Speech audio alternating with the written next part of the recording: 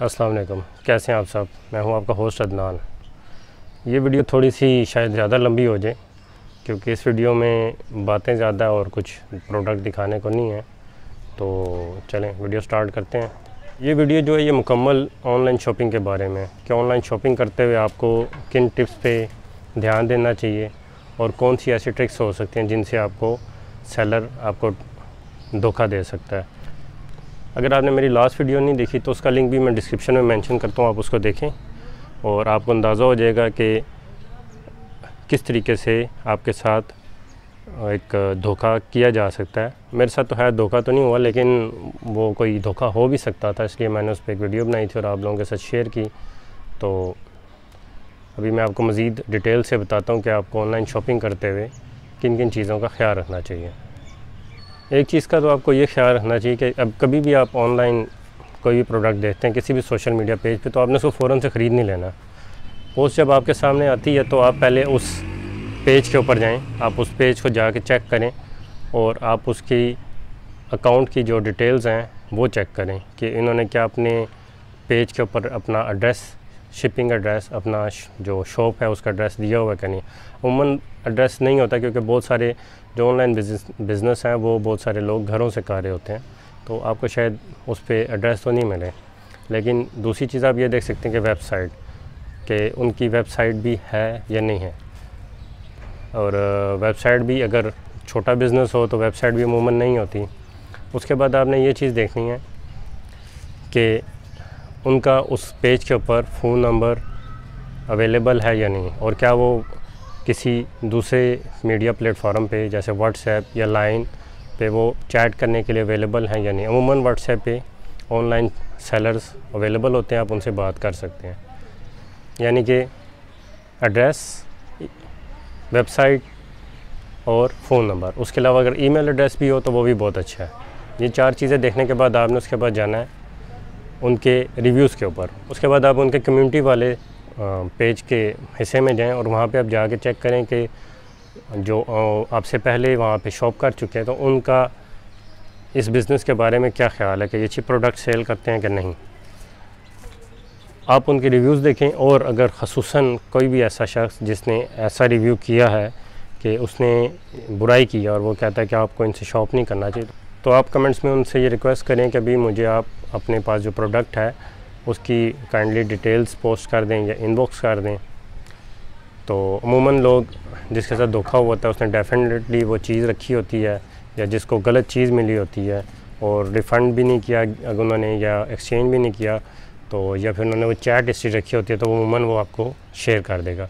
और अगर वैसे वो उनके बिज़नेस को नुकसान पहुँचाने के लिए झूठ में या गलत कमेंट्स कर रहा है तो वो भी आपको क्लियर हो जाएगा। उसके बाद अगर तो वहाँ पे कोई व्हाट्सएप नंबर है तो ये बहुत अच्छा है। इसका मतलब ये है कि आपका ह्यूमन इंट्रैक्शन होगा, आपको कोई नुमाइंदा आपको वहाँ से जवाब लाजमी देगा।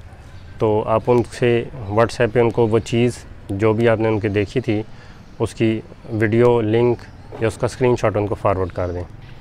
फॉरवर्ड करने के बाद आप उनसे ये रिक्वेस्ट करें कि वो आपको पिक्चर्स और वीडियो वो आपको भेजें। मोबाइल फ़ोन के कैमरे की बनी हुई, ना कि वो पिक्चर्स जो कि फ़ोटोशॉप करके उन्होंने अपने पे, फेसबुक पेज पे या किसी भी दूसरे सोशल मीडिया पेज पे या उन्होंने अपनी वेबसाइट पे लगाई हुई हैं। तो वो तो क्योंकि आप देख चुके हैं।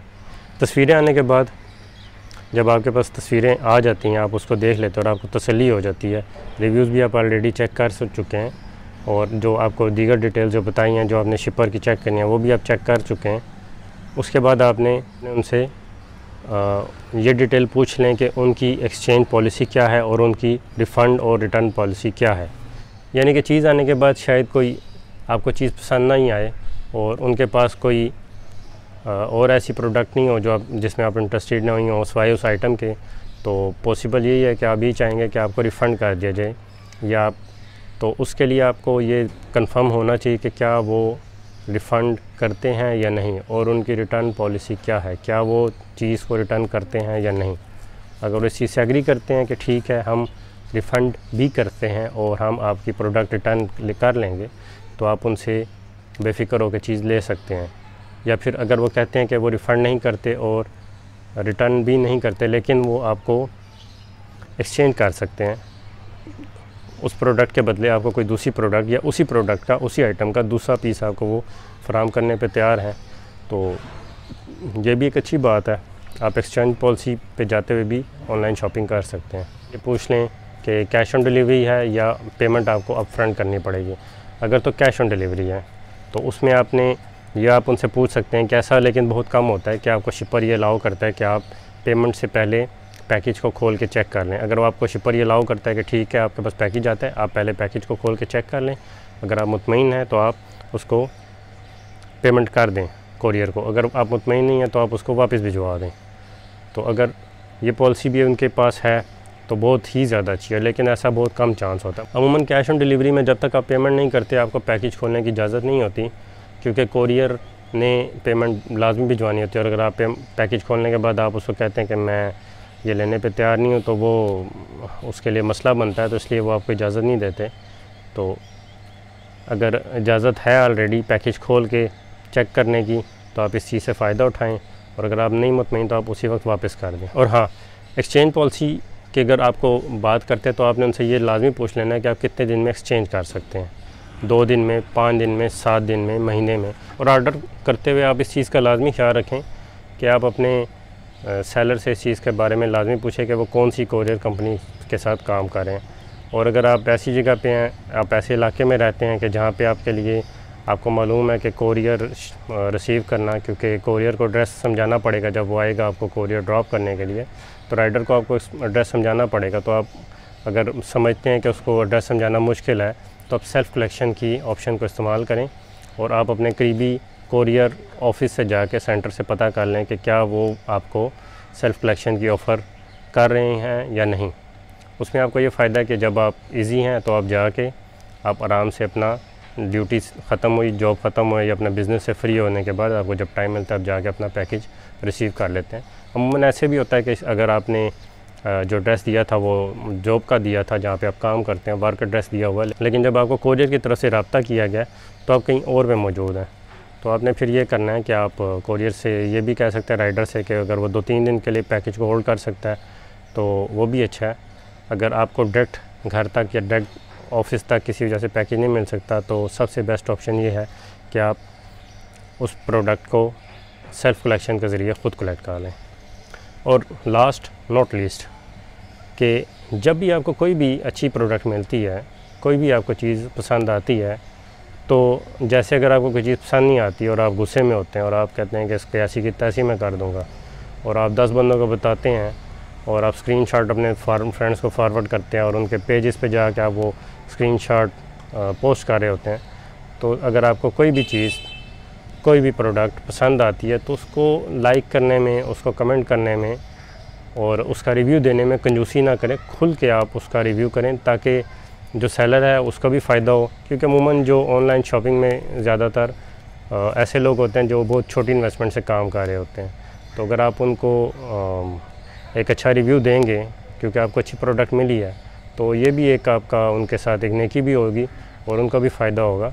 क्योंकि आपका रिव्यू पढ़ने से कस्टमर्स को अतमाद मिलेगा और वो उनको ऑर्डर करेंगे तो ये भी बहुत उनके लिए अच्छा होगा, फ़ायदेमंद होगा। और अगर आप साथ में पिक्चर्स भी पोस्ट कर सकें तो ये भी बहुत अच्छा है। अमूमन बहुत सारी वेबसाइट्स पे ऐसे भी होता है या सोशल मीडिया पेजेस पे कि ऑटोमेटिक सिस्टम होता है, यानी कि वहाँ पे कोई आपको डायरेक्ट रिप्लाई करने वाला मौजूद नहीं होता, कोई नुमाइंदा। तो आप ऑर्डर करते हैं, उनका एक फॉर्म्स होते हैं, उनके जो आपको फिल करने पड़ते हैं, उनके पेजेस पे। और उसके बाद आपको ऑटोमेटिक ईमेल आ जाती है जिसमें आपको ये डिटेल बता दी जाती है कि ठीक है अब आपका ऑर्डर हमने बुक कर लिया और अब आपका ऑर्डर हमने इसको फॉरवर्ड कर रहे हैं और ये फलां फलां कोरियर से आ रहा है और उसमें शिपिंग की डिटेल्स भी होती हैं उसका ट्रैकिंग नंबर वगैरह होता है और इस तरह की सारी चीज़ें होती हैं। लेकिन अगर आपका जो जहाँ से आप शॉपिंग कर रहे हैं वो एक ऑटोमेटिक सिस्टम नहीं है तो, तो ये सेलर की ज़िम्मेदारी है कि वो आपको आ, तमाम डिटेल्स शिपिंग डिटेल्स वो आपको लाजमी फ़राम करें ऐसा नहीं है कि आपके पास जो डिटेल्स आ गई हैं, क्योंकि आपके पास जो डिटेल हैं, आप उनको, उन डिटेल्स के साथ मैच कर लें कि ये आया, वही पैकेज मुझे रिसीव हो रहा है कि नहीं, और फिर आप जाके पैकेज रिसीव करो। जिस वक्त कोरियर आपको कोरियर देने के लिए आए तो कोई मसला नहीं है। आप उसको दो मिनट के लिए, एक मिनट के लिए, तीस सेकंड के लिए आप उसको रोक सकते हैं। आप पैकेज ले, जैसे ही है फ़ौर से पेमेंट नहीं करें। आप अपना पैकेज देखें, उसके ऊपर आप डिटेल्स देखें कि क्या ये वही डिटेल्स हैं जो आपने पहले देखी थी और जो आपको फ़राहम की गई थी? वही डिटेल्स हैं। उसकी डिस्क्रिप्शन लाजमी चेक कर लें कि आपने जो चीज़ ऑर्डर की थी, क्या ये वही मुझे वसूल हो रही है कि नहीं? ऐसा तो नहीं है कि आपने एक ट्रैक सूट ऑर्डर किया था और आपको सिर्फ़ एक ट्राउज़र या फिर एक सिर्फ़ शर्ट उसमें से भेज दी गई और बाद में आपको सेलर कह दी कि मैं भूल गया था और इस तरह का मसला था। उसको जल्दबाजी में आप पेमेंट मत करें, आप उसको रोक लें। इसमें चंद सेकंड का ये काम होगा और आप उसको अपना पैकेज को आराम से इंस्पेक्ट करके उसके ऊपर जो डिटेल्स हैं वो पढ़ के और फिर आप अपना पैकेज रिसीव करें। और अगर आपको कुछ बीस, तीस रुपये, पचास रुपये अगर आप राइडर को एक्स्ट्रा भी देने पड़ते हैं तो कोई बुराई नहीं है क्योंकि वो उन बेचारों ने सारा दिन मुसलसल धूप में काम करना होता है। सर्दी है, गर्मी है, बारिश है, उन्होंने आपका कोरियर लेके वो निकलते हैं सुबह से और उन्होंने एक रूट उनके पास होता है और उसमें वो बेचारे रबता करते जा रहे होते हैं और वो कोरियर्स और ऑर्डर्स पैकेजेस वो ड्रॉप करते जा रहे होते हैं। तो अगर इन केस वो आपको, आप उसको 10 बीस, तीस रुपये पचास रुपये फालतू भी दे देते हैं तो इसमें भी कोई बुराई नहीं है। क्योंकि आपको बग़ैर, घर से निकले बग़ैर मशक्क़त किए आपको एक चीज़ सीधी घर तक आ गई है तो आप यही सोच के एक कर दें कि बजाय इसके कि आप किसी भिकारी को जो कोई काम नहीं कर रहा, आप उसको 10-20 रुपये फालतू दे रहे हैं तो आप किसी ऐसे शख्स को मदद करें जो हलाल काम कर रहा है, हलाल रोज़ी कमा रहा है, और अगर आप उसको 10 बीस पचास रुपये फालतू देंगे तो वो, इतनी ज़्यादा रकम तो नहीं होगी, अगर आपने दो हज़ार दस हज़ार का एक पैकेज मंगवाया तो पचास सौ रुपये से तो उसको कोई बेनिफिट इस तरह नहीं हो जाएगा, लेकिन यह कि चलें, वो खुश हो जाएगा। तो अगर आप खाना भी खाने जाते हैं, आप किसी होटल पे जाते हैं आपको खाना पसंद आता है, नहीं पसंद आता, आप वेटर को भी तो टिप देते ही हैं तो आप यही समझें कि आपने उसको एक टिप दी है, और उसको अच्छा लगेगा। तो इस चीज़ों का, इन चीज़ों का ख्याल रखें।